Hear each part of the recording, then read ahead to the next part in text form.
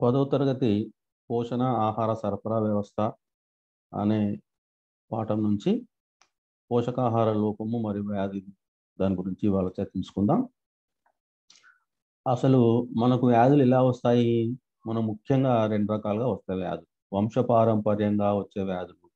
వంశపారంపర్యంగా అంటే ఏంటిది? కలర్ బ్లైండ్నెస్ అని హిమోఫీలియా అని సికో సిక్కిల్ సెల్ అనేమియా అని ఇట్లాంటి వ్యాధులు ఆ తరంలో పడ్డ జనక తరంలో ఉండే ఆ వ్యాధులు సంతాన తరానికి రావడం అనేది జరుగుతుంది. అలాంటి వ్యాధులను వంశపారంపర్యంగా వచ్చే వ్యాధులని అంటాం. తర్వాత సూక్ష్మజీవుల వల్ల అంటే virus bacteria fungus protozoans plot elements ఇట్లాంటి సూక్ష్మజీవుల వల్ల కూడా వ్యాధులు వస్తాయి. ఈ సూక్ష్మజీవుల వల్ల వచ్చే వ్యాధులు సాధారణంగా జనక తరం నుంచి సంతాన తరానికి రావు. ఇంకా ఇంకా మూడో రకానికి చెందిన వ్యాధులు ఏంటంటే పోషకాహార లోపం వల్ల వచ్చే వ్యాధులు. పోషకాహారం అంటే ఏంటిది? మనం పోషకాలు ఆహారంలో పోషకాలు ప్రోటీన్లు కానీ కార్బోహైడ్రేట్లు కానీ ఫ్యాట్ కొవ్వు ఈ మూడు మాక్రోన్యూట్రియంట్స్ అని అంటాం. ఖనిజ లవణాలు మరియు విటమిన్లు. వీటిని మైక్రో న్యూట్రియంట్స్ అని అంటాం. స్థూల పోషకాలు సూక్ష్మ పోషకాలు అని రెండు రకాలుగా ఉంటుంది. అంటే వాటి పరిమాణంలో ఎంతైతే ఉండాలో ఎక్కువ ఉన్నా కూడా వ్యాధులు వస్తాయి తక్కువ ఉన్నా కూడా వ్యాధులు వస్తాయి. సాధారణంగా అయితే తక్కువగా ఉండడం వల్ల వచ్చే వ్యాధులు మనకు ఎక్కువగా కనబడుతున్నాయి. ఒక స్థూలకాయత్వం అనే ఒక వ్యాధి తప్ప మిగతా అన్ని కూడా వాటి లోపం వల్లనే మనకు వచ్చే అవకాశం ఉంటుంది. అయితే మనం పోషకాహారం అని అంటున్నాము. కాబట్టి వాటి లోపల మాంసకృత్తులు అంటే ప్రోటీన్లు. ప్రోటీన్ల లోపం వల్ల వచ్చే వ్యాధిని మనము వాషియార్కర్ వ్యాధి అని అంటాం. ఓకే? ఇది ప్రోటీన్ల లోపం వల్ల వస్తుంది అనమాట మాంసకృత్తుల లోపం వల్ల. ఇగో ఇప్పుడు ఇక్కడ మీరు చూసినట్లయితే ఈ ప్రోటీన్ల లోపం వల్ల వచ్చే వ్యాధి ఇక్కడ మనకి కనపడుతున్నాయి? వ్యాధి లక్షణాలు ఈ కణాంతరాల లోపల అంటే కణానికి కణానికి మధ్య ఉండే గ్యాప్ ఆ కణాంతరాల లోపల నీరు చేరడం వల్ల ముఖం అంతా ఉబ్బినట్టుగా కనిపిస్తుంది. ఇక్కడ చూడండి మీరు ముఖం అంతా కూడా ఉబ్బినట్టుగా కనిపిస్తుంది. కండరాలు ఎంతైతే పరిమాణంలో పెరగాలో అంత పెరగకపోవడం అనేది ఓకే కాళ్ళు చేతులు అనేటి ముఖం కాళ్ళు అనే చేతులు కానీ ముఖం ఉబ్బడం అనేది ఈ చర్మం అనేది ఆరోగ్యంగా లేకుండా పొడిబారిగా ఉండడం అనేది ఇంకా విరేచనాలు రావడం అనేది ఈ కడుపు ఎంత ఉబ్బింది చూడండి ఈ విధంగా కుండలాగా బయటకు వచ్చింది. ఈ విధంగా క్వాషియార్కర్ వ్యాధి అనేది వస్తుంది. ఇంకా ఈ ప్రోటీన్లతో పాటు ఈ కార్బోహైడ్రేట్లు కెలోరీలు లేదా శక్తి రెండింటి లోపం వల్ల వస్తే కనుక దాన్ని మనం మెరాస్మస్ వ్యాధి అని అంటాం.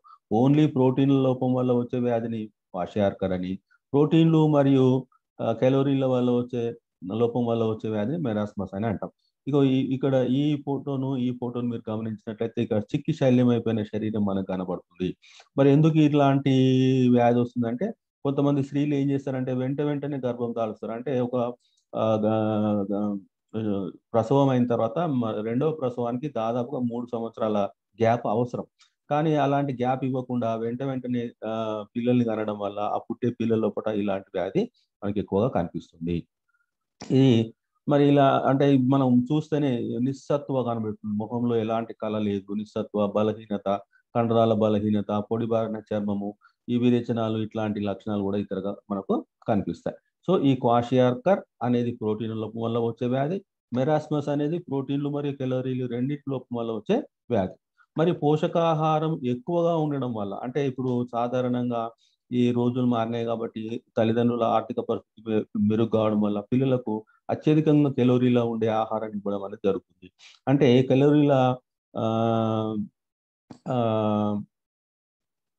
వాటి యొక్క అవసరం తక్కువ ఉన్నప్పటికీ కూడా ఎక్కువ కెలోరీలు ఇవ్వడం ఖర్చు తక్కువ తీసుకోవడం ఎక్కువ కావడం వల్ల ఈ స్థూలకాయత్వం అనేది వస్తుంది.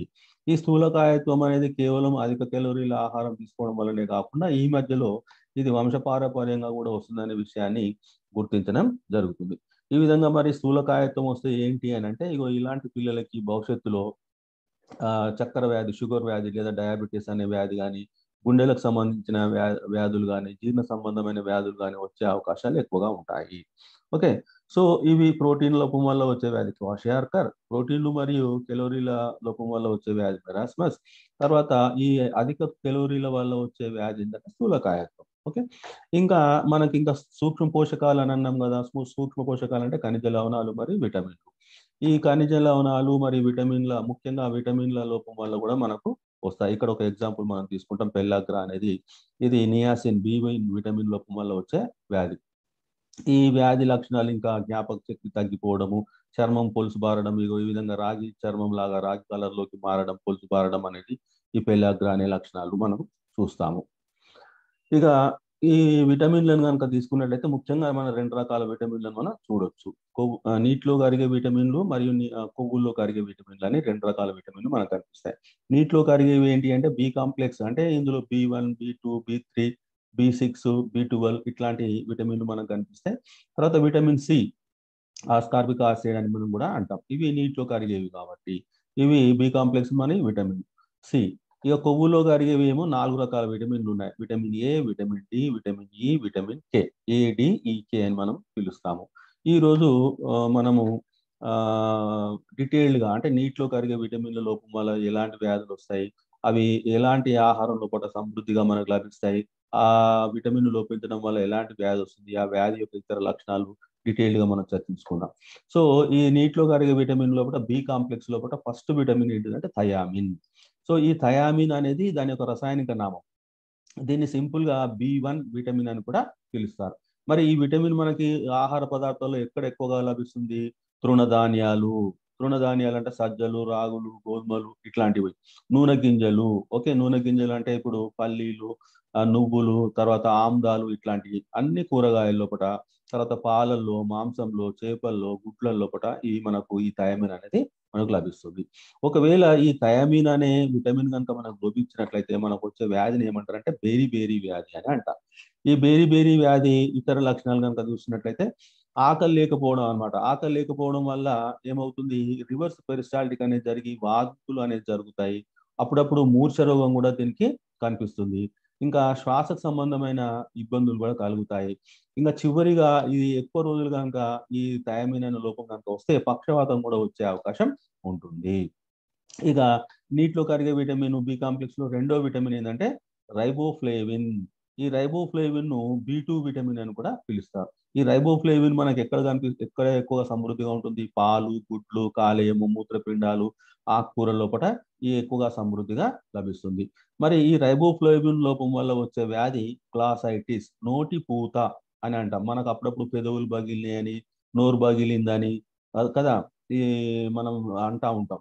సో ఈ నోటి పూత ఇక్కడ ఈ నాలుక పైన ఈ అన్ని కురుపులు వచ్చినాయి చూడండి. ఈ విధంగా ఈ పలగడం మన ఆహారం తీసుకున్నప్పుడు కారం రావడం ఇవన్నీ కూడా ఇతర లక్షణాలు. నాలుక పైన పుండ్లు ఉండడం వల్ల మనం ఏది తిన్నా కూడా నాలుక కాలుతుంది అనమాట ఇంకా వీటితో పాటు పొడిబారిన చర్మం అనేది కూడా ఉంటుంది. ఇక వెలుతురును ఎక్కువగా చూడలేకపోవడం అనమాట ఈ రైబోఫ్లేవిన్ లోపం వల్ల వచ్చే లక్షణాలు.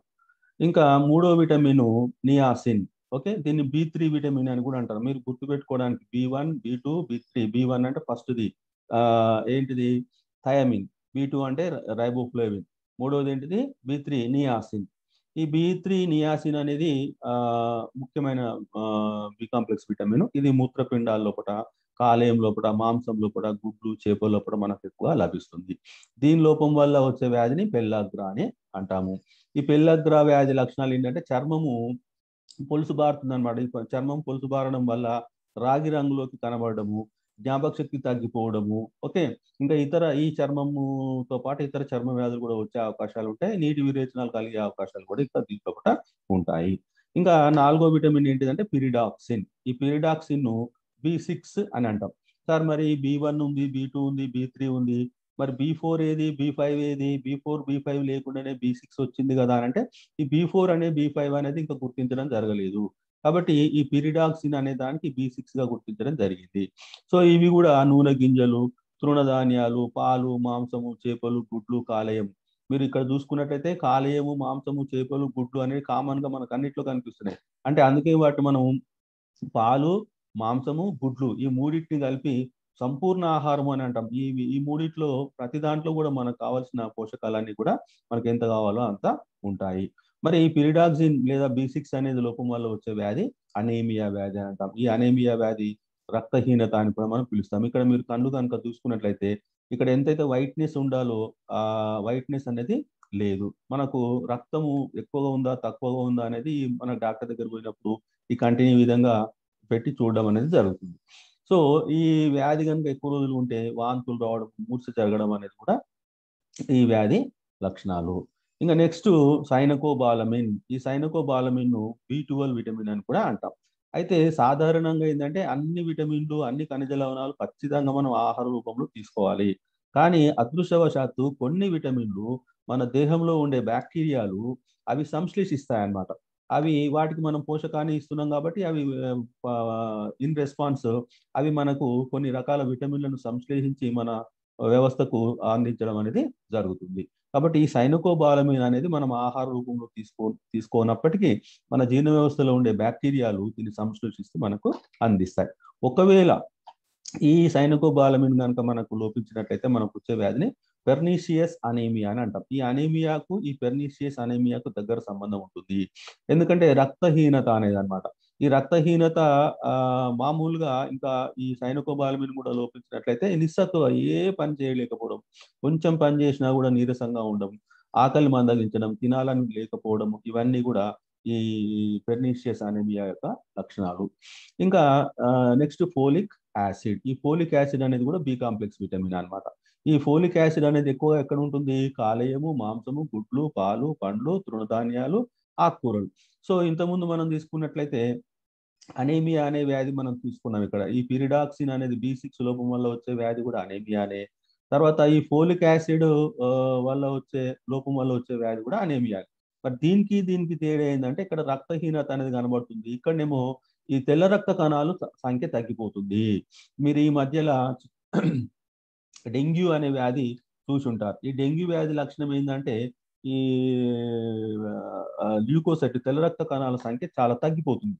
ఓకే ఈ విధంగా ఫోలిక్ యాసిడ్ తగ్గిపోవడం వల్ల ఈ అనేమియా రావడం వల్ల ఇతర వ్యాధులు కూడా వచ్చే అవకాశాలు ఉంటాయి. ఈ అనేమియా అంటే నీటి విరేచనాలు తెల్ల రక్త కణాల సంఖ్య తగ్గిపోవడము జీర్ణ వ్యవస్థ లోపల శ్లేష్మ సంబంధ సమస్యలు కూడా తగ్గిపోవడము తినాలనిపించకపోవడం అనేటివి ఇవన్నీ కూడా వీటి యొక్క లక్షణాలుగా మనం చూస్తాము. నెక్స్ట్ ప్యాంటోథెనిక్ ఆమ్లము.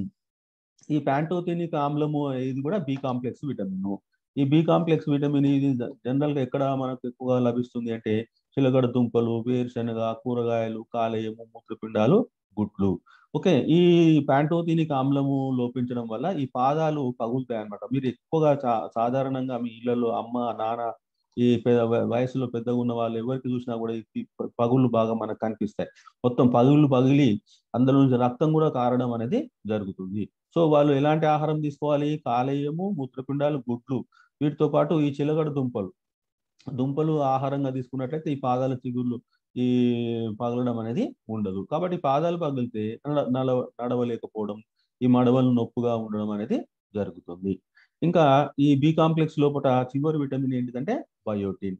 ఈ బయోటిన్ అనేది కూడా ప్రధానమైనది అనమాట ఎందుకంటే ఈ ఈ ఈ బయోటిన్ లోపం వల్ల నాడీ సంబంధమైన సమస్యలు వస్తాయి అంటే కండరాల నొప్పులు తొందరగా ఆలసిపోవడము ఈ నాడీ సంబంధ వ్యవస్థలు రావడం వల్ల ఈ మానసికంగా కృంగిపోవడము నిద్ర లేకపోవడము ఇలాంటివన్నీ కూడా వస్తాయి. మరి ఇవన్నీ రాకుండా ఉండాలంటే మనం ఎలాంటి ఆహారం తీసుకోవాలి?